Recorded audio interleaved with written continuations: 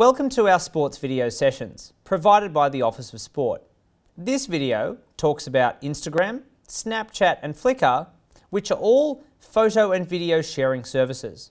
Just remember though, your club may have requirements in its code of conduct or social media policy, your council may have requirements about what you can do on council facilities, or even if it's a private venue, there may be restrictions about photos you can take on game day and at training. So make sure you check with those first. To get started, let's look at Instagram. Instagram is a relatively new, but now a few years old, social network. And it focuses on taking your phone, taking a photo, applying a filter to it, and then uploading it to the internet. And what's really interesting about Instagram is that it's all done from your mobile phone. You can browse it online, but you can't post photos from your computer. You can only post them from your mobile phone. And that makes it really interesting because it's a bit different than the other social networks that are out there. The web version of Instagram allows you to view photos, engage with them, and even see some of the likes and comments. But what it doesn't allow you to do is post photos. You can consume the media on it, but you can't add to it. There is limited search functionality, but the app really is designed to be used from your phone. Can your club have an Instagram? It can, and it should. Instagram's user base is amazingly broad. Now that Facebook has bought Instagram, it's opened the doors for millions of new users to come in and give it a go. It's really great to build connections with your members on game day, at training, at special events, and it's certainly something that your club should check out. You can have multiple people on the committee, all with the app on their phone, taking pictures on game day. It's not limited to the one person, and the club can create its own account with its own email and its own name. And it's certainly something that we recommend. This brings us to Snapchat which is another interesting app-based social network. Snapchat is used for individuals sending photos, videos, and content to each other. But unlike other social networks such as Facebook, Twitter, and YouTube, where there's a central repository of old photos, old videos, old posts that people can scroll through, there's no central hub on Snapchat. It is more of a messaging service for people to send content.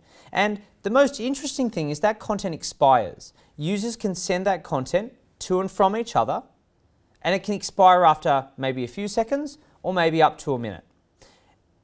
That being said, the network has been criticized and there have been users that have shown that that content can actually be saved. So the app's claims that it is secure and content does expire may not be all that they claim to be.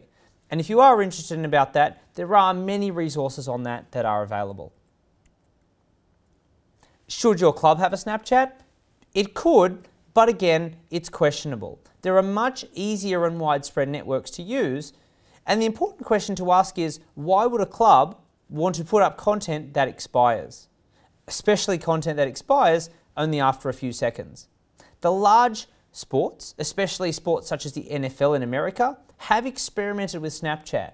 But the difference is they have a high volume of members. At an NFL game with 80,000 people in a stadium, sharing some private moments of off field, behind the scenes, is really important to engage that fan experience. But for a local club, there really isn't a lot of value in Snapchat.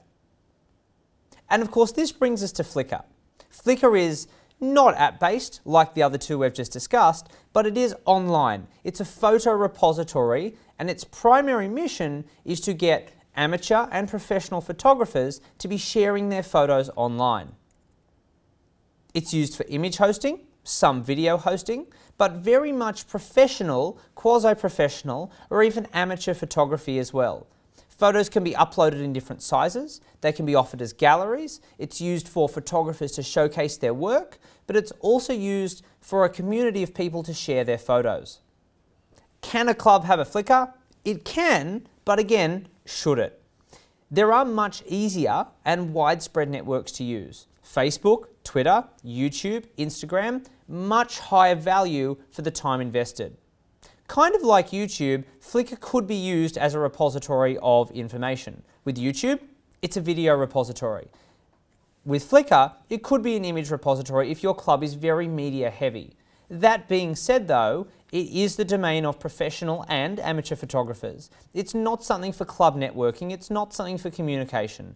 And at the end of the day, it probably isn't suitable for a club to be investing the time and effort required to use it.